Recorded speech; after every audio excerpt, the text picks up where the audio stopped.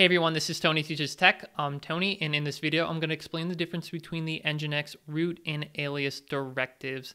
Now, I don't know, for some reason, when I first started learning about Nginx, this concept really uh, caused me a lot of confusion, and I figured somebody else watching this video probably has that same confusion. So um, a simple example should do the trick as far as explaining what the difference is between root and alias. So let's go ahead and take a look. I have a simple website here running at this IP address, and I'm logged in via SSH to that server. And what I want to do here is first look at our Nginx configuration file. So that's at etc nginx sites available and then I'm using the default conf just modified a little bit. We're listening on port 80 here and uh, we're not even using the server name and uh, the root right now is set to var www.html and it's looking for an index file called index.html. So let's just let's just look at that real quick.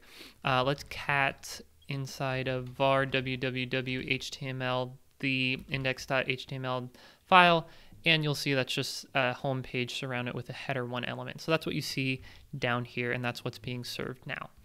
Let's go ahead and take this a step further. We'll add a location block in here and I'll use my cheat sheet over here to do that. Um, this is a location block with a root directive nested in it. Okay, and the value of the location um, is hello slash hello, and the root is set to home Tony teaches tech, home slash Tony teaches tech.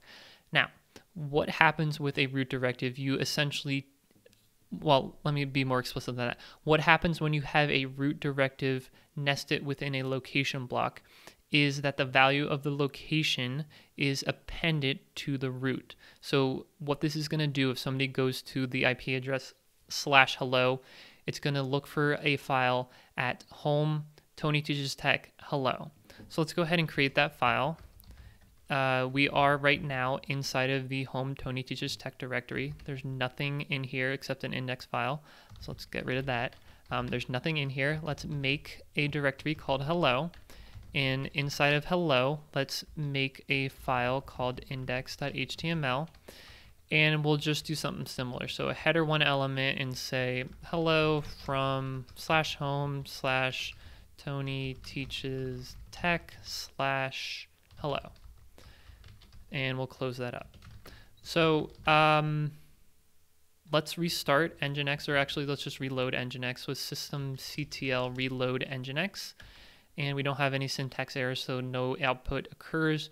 Now, if we go down here to our web browser, go to the IP address slash hello slash index.html, HTML, then we see that uh, index file being loaded, hello from home, Tony Teaches Tech, hello. So that is the root directive. That's how that works. What about the alias directive? Well, let's go add another location block in our configuration file. This time we're going to use the alias directive. Whoops. So I'll use my cheat sheet one more time over here, paste that in, and we have now a location block, and inside the location block, we have an alias uh, directive here. So the value of a location is hey slash hey. Now this means that anytime somebody goes to the IP address slash hey, we're going to go directly to this uh, path on the file system. So if it's not obvious at this point, the, the key difference between the alias directive and the root directive in Nginx is the fact that with the root directive, you're going to append whatever the value of the location block is onto the end here. Whereas the alias directive, you basically map the value of the location block to whatever the uh, alias value is. So let's go ahead and just do the demonstration to make sure that this is uh, this is solidified as um, as a concept. So let's write this out and reload Nginx. We don't see any output, so that means there's no syntax errors. Now, what do you think we're going to see if we go to the IP address slash hey slash index.html?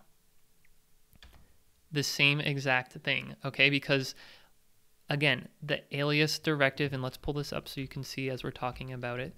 The alias directive is a mapping of when the alias, let me be explicit, when the alias when the alias directive is within a location block, we take the value of the location, uh, the location block, and map it directly to the alias.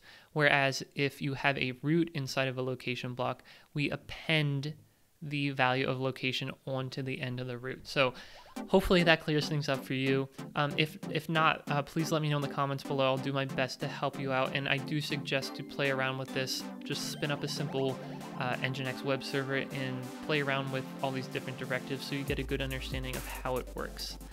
Um, that's about it for this video. If you want to see some more Nginx videos from me, check out some of these videos over here.